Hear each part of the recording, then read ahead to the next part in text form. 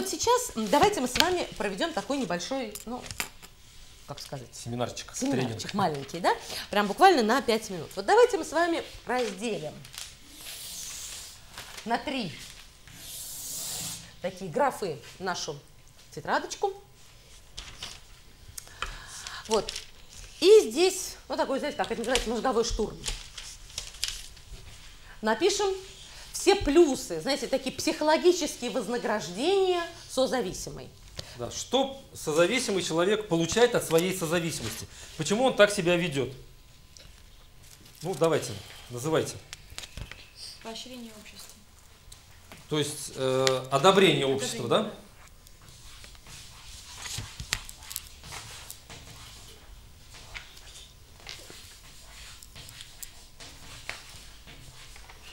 Еще. Значимость самого себя. Я такой хороший помогаю. Так.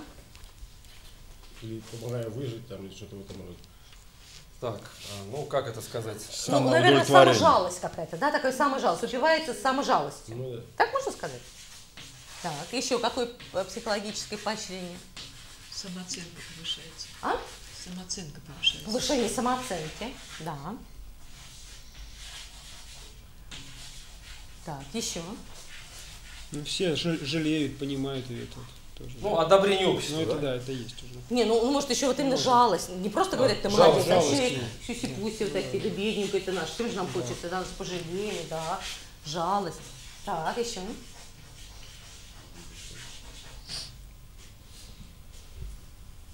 Ну, смотрите, всем же нам хочется, чтобы нас жалели, Чтобы а, самооценка у нас самооценка возросла. росла, чтобы нас хвалили. В принципе, такие хорошие психологические поглаживания, да, человек получает. А давайте теперь посмотрим, здесь выпишем негативные последствия. Вот какие здесь у нас негативные последствия? От одобрения общества.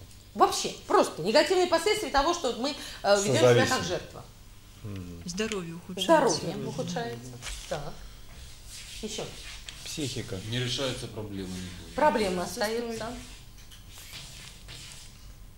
Проблемы остаются. Так, Я буду еще. коротко писать. Да, да. Жизни практически нету. Жизни никакой. Это Нет жизни. конкретнее, да? Ну, конкретнее, Ну, так и пишем, нет ад в жизни. семье. А в семье нет жизни. Так. Неправильные приоритеты. Не, не те приоритеты. Так. Отсутствие развития. Отсутствие развития. Роста нет, да. Ага.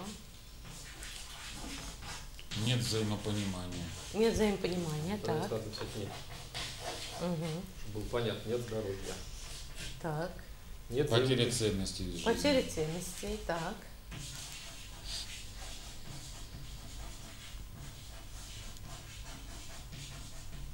Нет возможности высказаться, нет, нет отношений, там, написано, там уже написано. Выразить свои эмоции. Ну, поделиться своими эмоциями, не с кем, не, не, не То- с кем. Ну, То есть как? нет Отношений. близости, От- нет от- нет отношений. от- да. Нет отношений.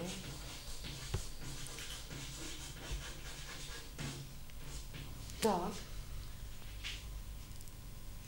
Взаимопонимание в плане том, что, допустим, муж с женой отдохнуть невозможно съездить там или погулять. Ну, то есть нет семьи, да, Нет нет, семьи отдыха, нет семьи. да. Ага.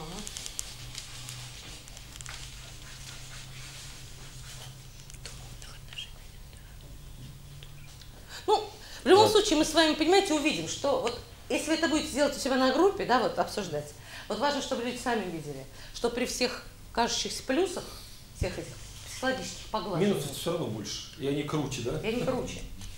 Это, и тем более это все очень так э, Призрачно. призрачно. А вот это все конкретно. И теперь дальше конкретно. Избавление. Вот давайте здесь прям, э, вот какие конкретные пути избавления, какие конкретные шаги избавления от вот такого жертвенного состояния, вот состояния жертвы. Мы сейчас с вами говорим про состояние жертвы. Понимаете, потому что, вот тут вот, прям давайте напишем, жертва. Да? То есть вот здесь мы с вами писали плюсы, Здесь здесь, у нас минусы, а здесь выход из состояния жертвы. Там будет выход. Первое, мне кажется, нужно расставить все точки над «и». То есть Выход. Расставить точки над «и». Что значит конкретно? сказать мужу, что, что ты зависим. Знания надо. Знания приобрести. Так, ну, знания, так. А как сказать мужу? Вот давайте подумаем.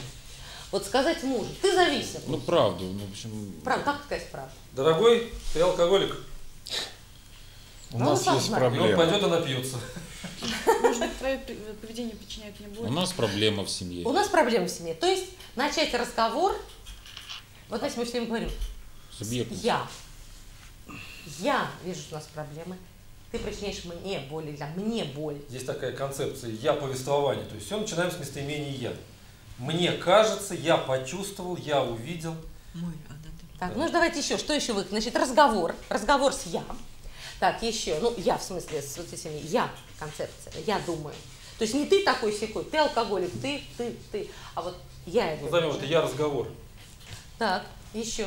Или от я разговор, наверное, да? Вот так? От я вот так, точнее будет. Так. Угу.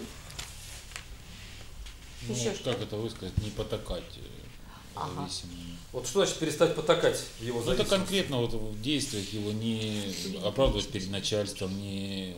Перестать лгать. Да, перестать врать. Честность. Перестать лгать. Так, еще. Перестать его охаживать, ухаживать за ним. А, Ага, то есть, Совсем? Стирать там или что, если он... то есть, э, как это мы обозначим с вами? А, передать ему ответственность, да? Да, ответственность. Отдать ему ответственность за его поступки.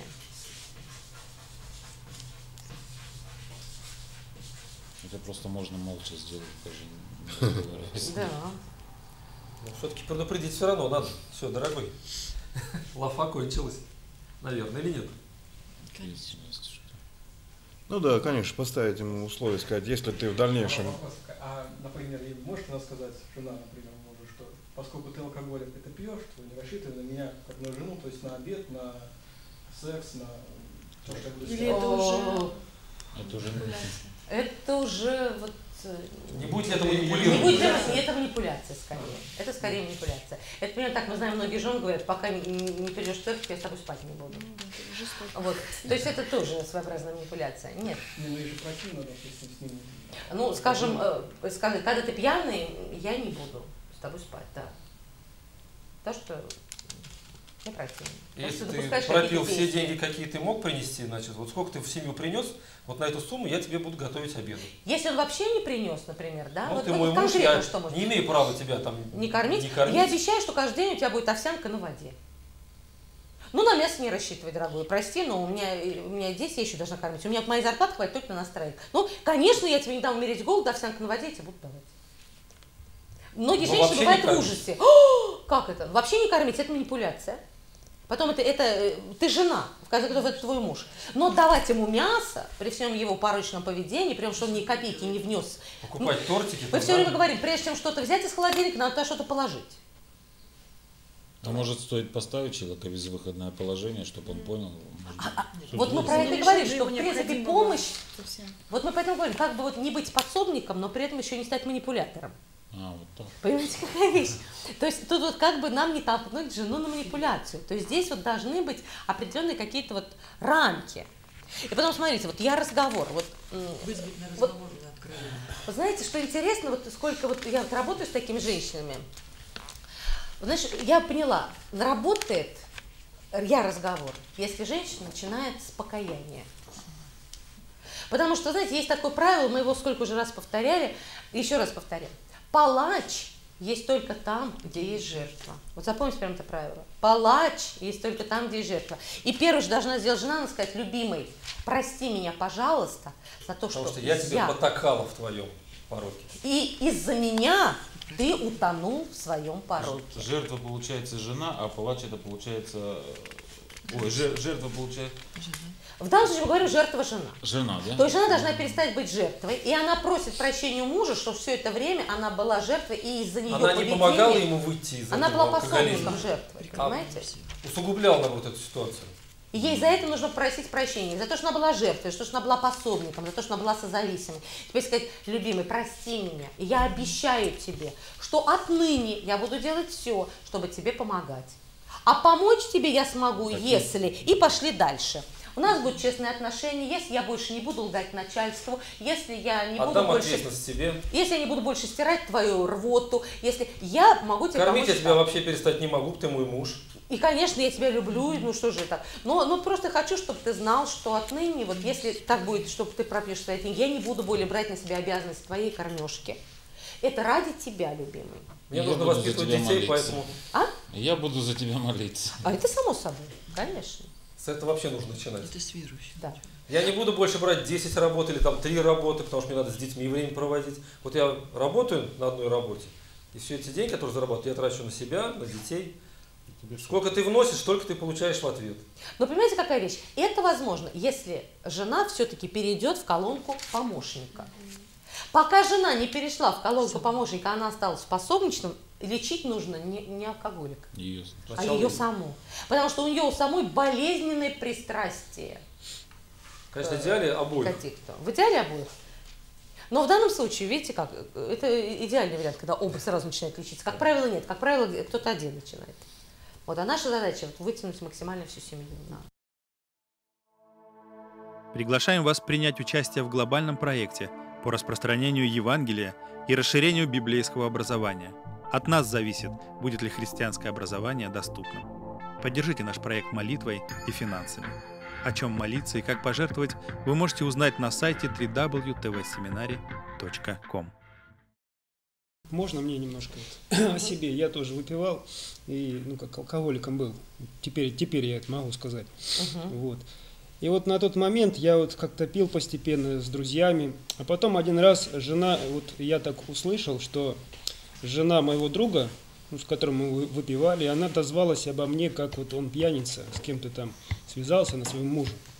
Я это узнал, для меня это была вот такая какая-то встряска.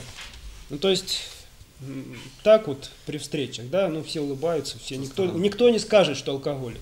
А когда я узнал о себе, как вот обо мне говорят люди уже, вот у меня мысль появилась, вот куда я уже качусь, куда это вот.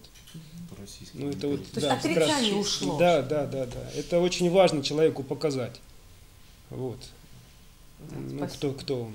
Да. Вот как раз, и знаете, и вот то, что говорит Дмитрий, это практически говорят все. Как только маска отрицания снялась, вот это номер один, причем снять ее должны сначала окружающие. А если жена всячески вот эту вот маску надела, вот это вот, ам, Была пособником. да, это правило умолчания всячески работало, человеку практически невозможно увидеть свою проблему. Это так. Ну и давайте мы сейчас закончим это упражнение, которое мы начали по жертве. Вот, значит, мы рассказали, подумали с вами, а Над какие плюсами. есть плюсы, э, к чему деструктивному приводит, то есть есть какие вознаграждения жертвы получает, в кавычках, да, здесь какие, В чем себя разрушает в чем себя и разрушает. отказывает. И что можно сделать, чтобы перейти от деструктивного к конструктивному решению И проблемы. надо, мы обычно задаем такое решение, э, такое задание после вот э, такого упражнения. Мы говорим, пожалуйста, дома сделайте следующее. Напишите список обязанностей своих в семье. Вы пишете список обязанностей своих в первую очередь. Во-вторых, что должен делать по дому муж, ну если это женщина, да, пришла. В моем понимании. Да, ну, ну что вы вместе, как бы, ну понятно, что скажем, забить гвоздь, прибить полку, передвинуть шкаф. Это делает муж, конечно. Как бы вот изначально это предполагается в вашей семье. Потом, какие обязанности детей? Там, Одного первый, ребенка, второй, другого третий, ребенка. четвертый, сколько детей. То есть на всех расписать обязанности. Ну, На скажем, ребенок семью. может пропылесосить пол раз в неделю? Может. Четверо детей, считайте, четыре дня в неделю вы свободны от того, чтобы пол Пылесосить пылесосить. пол. Ребенок может вытереть пыль? Может. Можете вы, скажем, обязанности это как-то расписать на детей? Можете. То есть для чего это надо? Ребенок Что- может помыть пол. Если двое детей в семье, то вот они моют через день, получается каждый день полы чистые. То есть вы от этого Ну, я, например, да?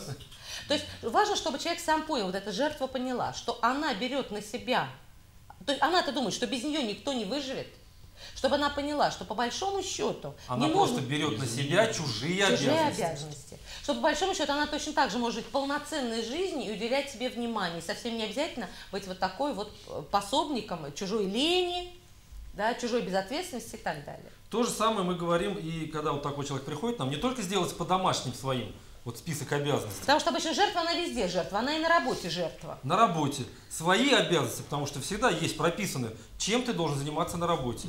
Взять список обязанностей своих сотрудников, Прописать примерно. коллег да. по работе, да, и посмотреть, я оттуда ничего не беру на себя. Или действительно коллеги по работе слишком часто подходят ко мне с просьбами, и в результате я волоку на себе 70% всего того, что делается в нашем офисе. Вообще в офисе. Потому что, как правило, жертва, А она свои везде жертва. приходится делать после работы. Понимаете, какая вещь? Ну и посмотреть у начальника, тоже ведь есть обязанности. А не так ли часто начальник меня просит выполнять его обязанности? И таким образом я на себя взваливаю все дома, все взваливаю на работе, получаю вот эти психологические поглаживания и там, и там. А в ответ что получаю в результате? Разрушение. Понимаете, какая вещь? Вот, то есть таким образом, и выход точно такой же. Точно так же поговорить с коллегами, начать с того, что прошу прощения у вас за то, что вот так себя вела, постараюсь больше так не вести. Конечно, можете ко мне обращаться за помощью, но... И если есть у меня время, время возможность, я помогу. Но если есть время, но с другой стороны, я просто буду отвечать нет, если могу, вы меня заранее простите, дорогие мои коллеги. Ну как-то вот заранее вот, вот инъекцию в отношения внести, в такую вот э, такую положительную вакцину, чтобы когда такая ситуация возникла, не было взрыва, не было бума и так далее. Понятно, да? Почему раньше все делал, а сейчас не может? да? То есть очень хорошо, вот это домашнее задание дайте, список обязанностей дома на всех, чтобы она расписала, список обязанностей на работе. Может быть, даже в церкви, если, скажем, эта женщина несет массу служений, скажем, по воскресной школе, по той же самой, и вот жалуется, что вокруг нее никто ничего не делает, она одна такая несчастная, пренесчастная, вот пусть она это сделает Кстати, хороший вариант. Попробуйте сделать это сегодня дома. сами. Сами, для своей семьи. И посмотрите, кто какие обязанности выполняет. Нет ли такого, что я избегаю своих обязанностей для того, И чтобы их на перевешать другого. их на другого человека? Что вот давай ты это делай. Вы знаете, очень хорошее упражнение. Вот. Вот. И- и- Мы не говорим, что есть мужская работа, там женская работа, да, но есть, конечно, действительно такое конкретное разделение. Допустим, там гвоздь забить, так это мужчина, по идее, должен делать. Но, как правило, женщина говорит в таких семьях, я и лошадь, я и бык, я и баба, и мужик. И в результате вот э, происходит то, что она действительно все влачет на себе.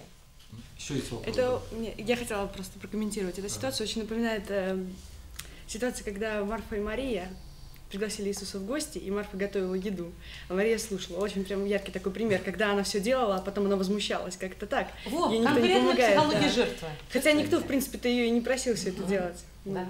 Ну, А эта игра называется еще загнанная домохозяйка. Вот знаете, вот она все делает, вот она все готовит, у нее там пять видов разных пирогов, 88 Гости пришли, нужно салатов. кормить, нужно тут перед ними станцевать, да, детей, на Детей. тумбочку поставить на табуретку. Чтобы Пусть они стихи, стихи рассказывают. рассказывали. Да, вечером, где гости разошлись, такая вот э, жертва домохозяйка падает, а муж к ней, любимая, спасибо тебе за вечер, пойдем, я тебя хочу. Как ты можешь? Ты видишь, я устала, какой ты бессовестный. Да, и вот она такая жертва. Вот, и вот она возмущается, что у нее муж такой, знаете, вот как можно после такого, вот она так вот всем пожертвовала, а он к ней пристает с дурацкими вопросами. Я говорю, давай так подумаем, вот кому нужно было вот это вот все вот такое вот ваше, вот, где вы выложились? Вот скажите, вашим детям надо было? Молчи, мужу надо было. Ну как же, это же его гости. Ну, как вы думаете, может, надо было просто пиццу вот из соседней пиццерии заказать, ну, чай поставить, ну, самой какой-нибудь плюшки испечь. К вам что, пришли наесться или пообщаться? Вот психология жертвы. Понимаете? Да, а она упивается вот этой вот своей жертвенностью. Он говорит, мужу не надо, детям не надо, все. А ну вот она вся А вам жертва. надо, А вам потому что надо. Психологические поглаживания, одобрение ожидает, да? Вот. А мужу нужна нормальная жена, которая после того, как де- гости разошлись, она могла ему внимание уделить. И с детьми быть радостной. А детей она говорит, не трогайте меня, я устала. Муж говорит, не представляй ко мне, я устала. О, жертва. Вот, знаете, четко прям работает вот на всех вот этих вот ситуациях жизни. Психология жертвы.